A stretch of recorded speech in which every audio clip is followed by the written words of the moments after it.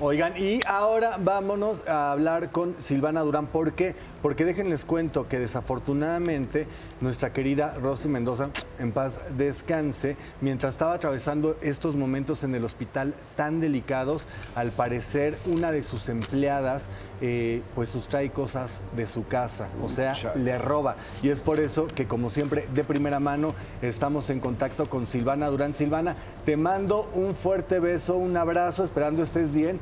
Y pues bueno, para corroborar contigo esta información, es cierto que personas que trabajaban en casa de tu madre, mientras ella estaba padeciendo entre la vida y la muerte, ¿le robaron? Sí, es cierto, desafortunadamente es muy cierto. Yo cuando mi mamá se cayó y la primera vez que la operaron de la cadera, yo le pedí a una empleada doméstica que ya había trabajado aquí anteriormente, que se iba y venía, etcétera, le pedí de favor que viniera y que lavara toda la casa porque le quería tener de sorpresa mi mamá lavar toda la casa y yo con una, con, con, una operación así, yo no quería que estuvieran las telarañas que mi mamá defendía tanto aquí en el techo le dije, me sacas todas las telarañas, no las sacó. Entonces esta mujer, yo le di las llaves y le dije, yo no me puedo retirar de mi mamá de aquí del hospital. No quería dejar sola a mi mamá. Le dije, me dijo, ay, gracias señora por la confianza. Y robó, se robó la medalla de los 50 años que le dio Chucho López a mi mamá, hace apenas dos años. Sí, ahí está. Que mi mamá la recibió con sus manitas, ahí está que cantó mi mamá esa noche con una trayectoria impresionante.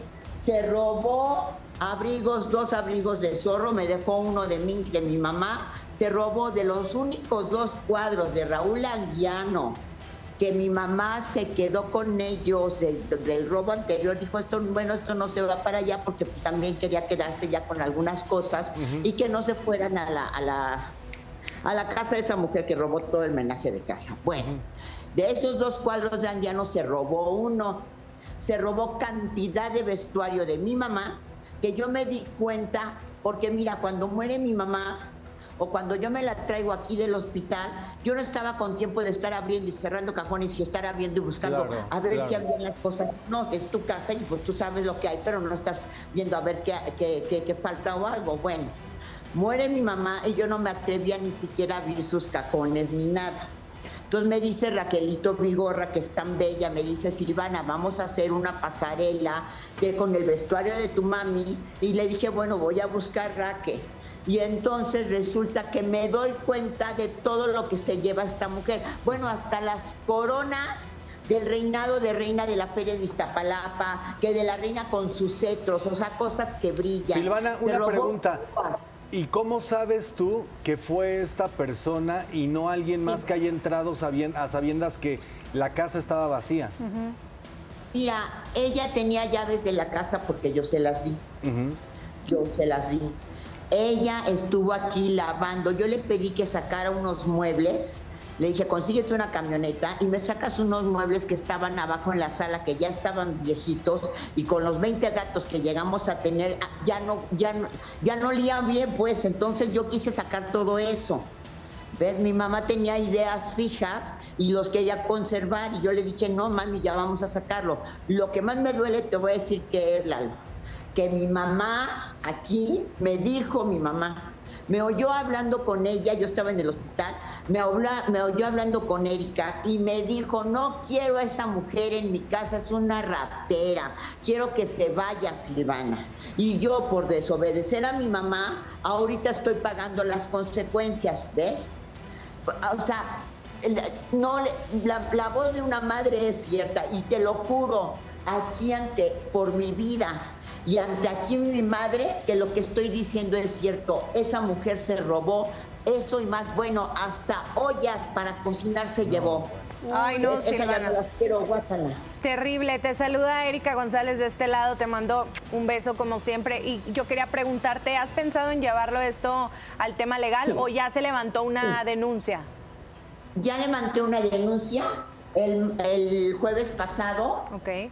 Y hoy eh, llaman de los, sí, ahí está. Y hoy tuve cita también para que me asignaran Ministerio Público. Hoy hablé con el Ministerio Público, me trataron muy bien. Cuando yo salí, me, me, regresaron y me metieron a una oficina con el fiscal y una señorita lindísima, una señora ya lindísima que también fiscal, que son como jueces y el Ministerio Público.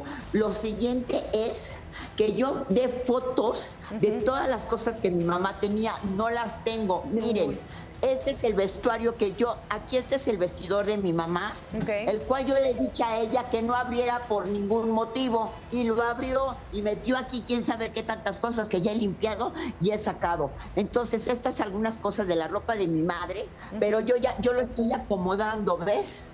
Por color, aquí de estos atuendos me falta la capa dorada, una grandísima, que era como que se vestía de Cleopatra de egipcia.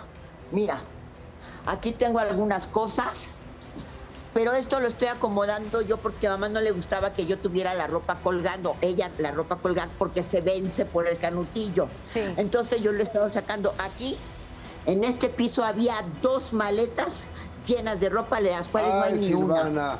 amiga, amiga. estaban los abrigos de zorro y aquí estaban los dos cuadros de Raúl Anguiano, del cual falta uno que es, es en sepia en Miren, miren a mi mamá. Mira. No, preciosa. Hoy, ah, Silvana, eh, pues ojalá, ojalá se pueda hacer algo. Hola.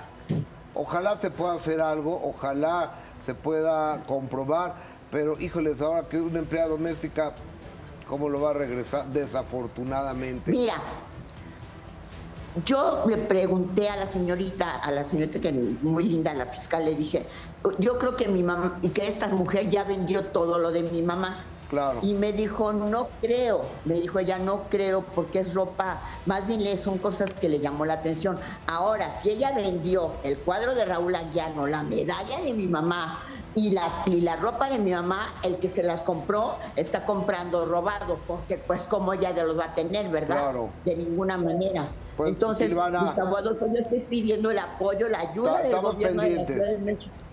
Estamos pendientes y bueno, ya el mensaje está dado al aire, ojalá haya den con esta persona, la responsable, y, esto, y ojalá recupere las cosas. Gracias, Silvana. Un abrazo. Buenas tardes. Un abrazo. Un abrazo. y sabes que, un abrazo, querida. Qué fuerte lo que está platicándonos, compartiendo, porque además el, un cuadro de Raúl Anguiano, un pintor jalisciense, cuesta lo mínimo unos 100 mil pesos, por más chiquito. No, y lo que cueste, pues no tienen por qué robar claro, cosas. pero me refiero a que no, además, se vaya, se robó algo con valor. Claro, claro. No lo vayamos a robar.